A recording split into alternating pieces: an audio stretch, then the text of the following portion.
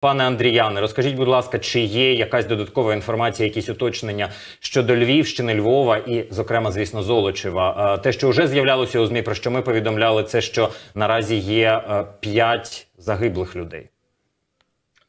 Так, є інформація про п'ять загиблих людей на Золочівщині. Розбираються якраз зараз завали. Е, Критичні об'єкти критичної інфраструктури не пошкоджені. Місто нормально функціонує. У нас сьогодні сесія Львівської міської ради якраз по дорозі на сесію Львівської міської ради зупинився, з'їхав провулочок, дати коментар, розказати про ситуацію в місті. Е, Працюють нормально в штатному режимі електропостачання, водопостачання, світлофори. Хоча після нічної затяжної повітряної тривоги, можливо, пізніше виїхали львів'яни сьогодні своїх домівок на роботу. Страшні корки, е, сильне завантаженість в місті транспортом, але всі працюють. Е, Буквально півгодини назад до години часу було чутно е, шуми, такі, які теж е, стурбували мешканців міста Львова, але це були українські літаки. В місті все спокійно, ракетна небезпека закінчилася.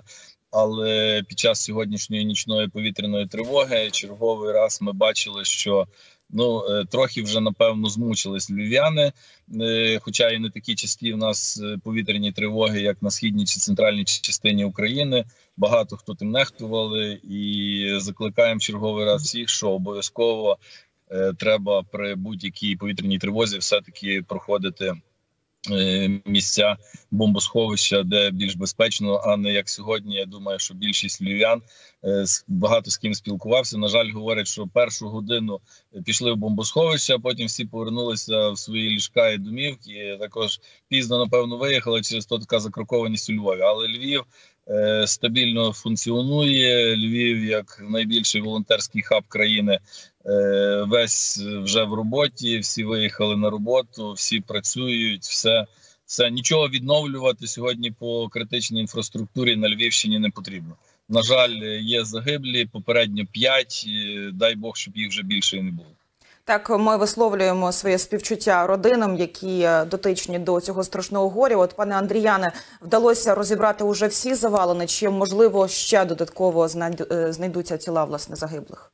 Ні, погасили пожежу, але ще продовжується якраз розбирати завали. Ну віримо, надіємося, що більше загиблих там людей не може бути. Це наразі єдиний об'єкт, про який відомо зовсім цивільний. Близько немає ніяких інфраструктурних об'єктів.